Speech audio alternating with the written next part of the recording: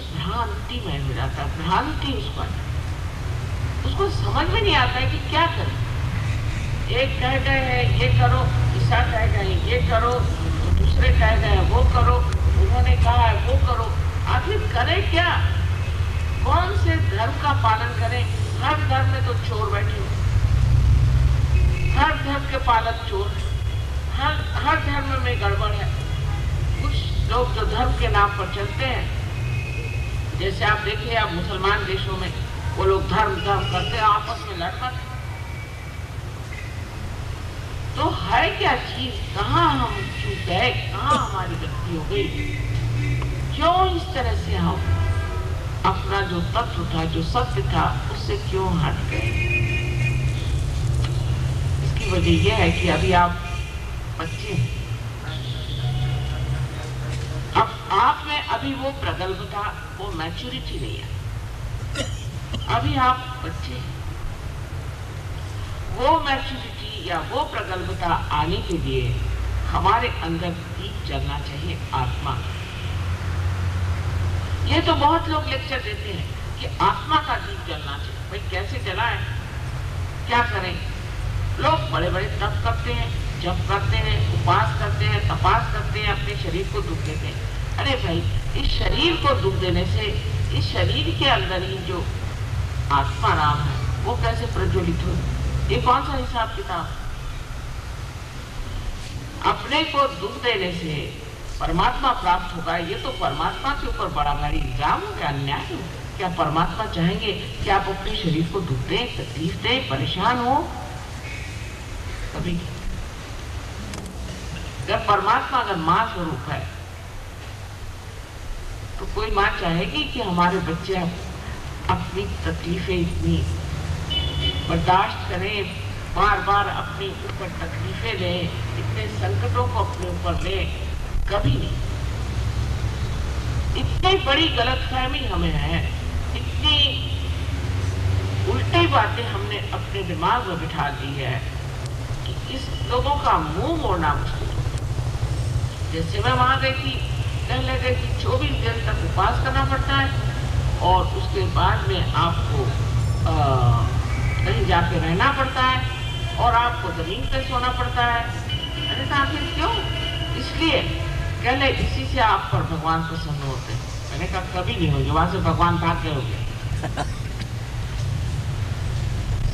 अगर मुझे कभी ऐसी जगह जाना हो तो मैं तो एक मिनट नहीं ठहरूँगी, मैं तो खाए तो बात चली नहीं यहाँ कौन है अच्छे भले थे खाते पीते घर के वहाँ जाकर किसने कहा था कि आप अपने पे आफत लाइए लेकिन इंसान ने अपने दिमाग में भगवान की ऐसी कोई भावना बिठा रखी कि वो हाथ में डंडा लिए सबको मारा अगर वो नहीं मारा तो हम ही मार लेते हैं जिससे वो संतुष्ट हो परमात्मा तो प्रेम है यही एक सत्य आप जान ले कि परमात्मा महान प्रेम है।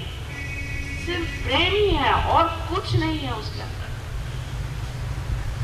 वही उसकी शक्ति उसमें प्रेम करने की शक्ति। इसीलिए इतना बड़ा संसार बनाया, इसीलिए आपको मनुष्य बनाया, आपके लिए सब सुख साधन दिए, आपको वो शक्तियाँ जिससे आप परमात्मा का आनंद उठा सके।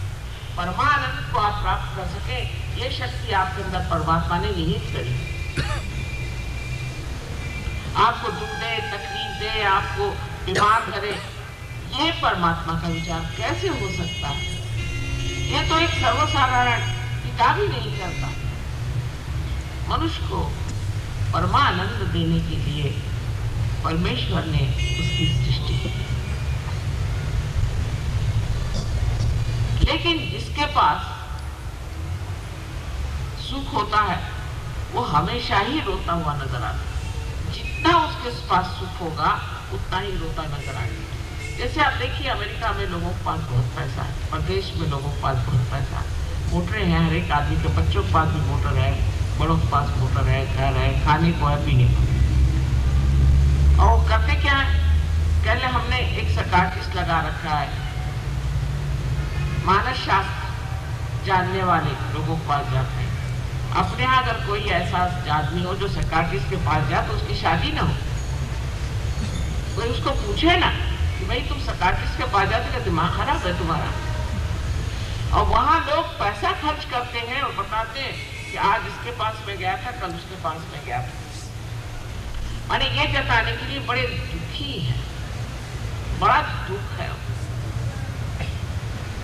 अंग्रेज़ी भाषा में जिस तरह से आप देखते हैं, बोलते वक्त भी कहेंगे कि आई एम अफ्रेड सारी दुनिया अंग्रेज़ों से डरती है कांपती है। इनको काय का अफ्रेड होना हो उनको देखे देखी हम लोग भी ये सोचने लग गए हैं कि अगर हम अपने को दुखी दिखाएँ, बहुत ही परेशान दिखाएँ तो भगवान ऊपर से नीचे ऊपर आए, वो तो कब के भाग जाएँगे?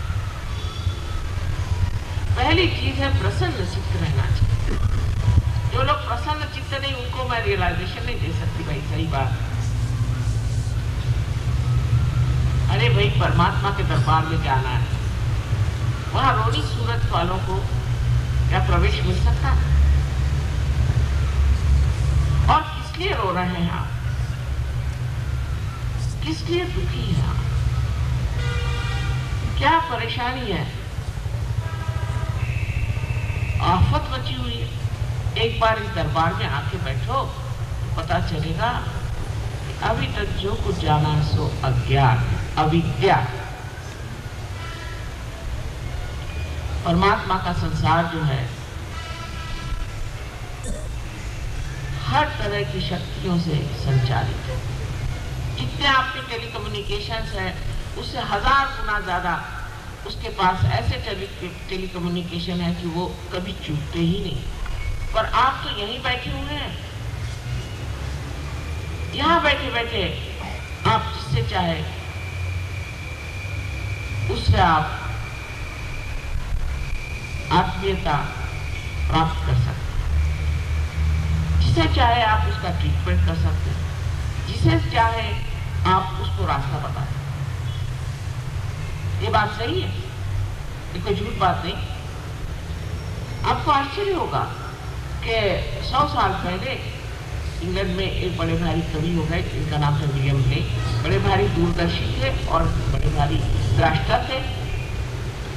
उन्होंने ऐसी ऐसी बातें लिख रखी है कि कोई विश्वास नहीं करता है कि उन्होंने ये तक लिख रखा है कि मेरा घर कहाँ उन्होंने ये लिख रखा है कि हमारा आश्रम पहले कहाँ बनेगा, किस प्रकार का मकान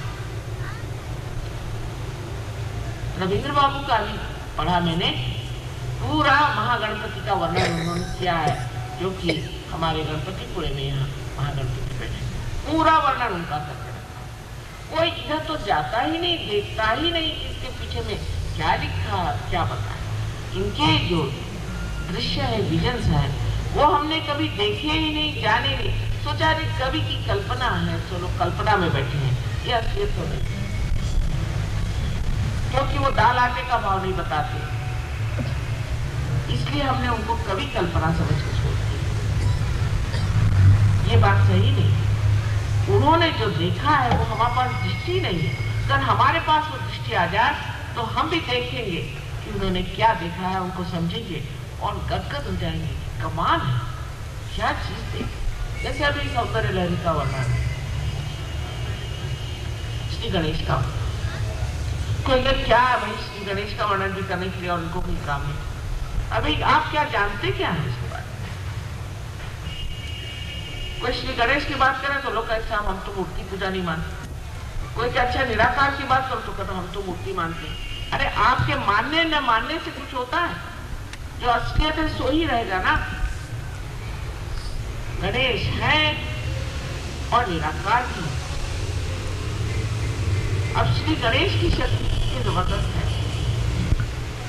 ये आप नहीं जानते, हालाँकि बैठे वही है।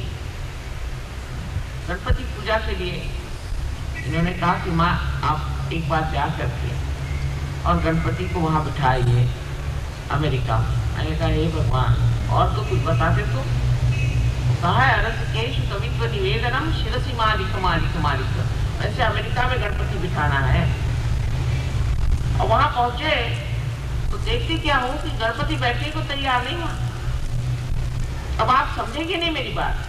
समझ नहीं सकते, क्योंकि आज तक आपने अपने बुद्धि से समझा ना, आपने गणपति को समझा तो। गए वहाँ सिद्धि विनायक में जाकर चार रुपए चढ़ा दिए, हो गया गणपति महाराज तुम पे प्रसन्न कैसे होंगे? उनको तो रुपया पैसा समझता नहीं, मेरे को नहीं समझता तो उनको क्या समझे?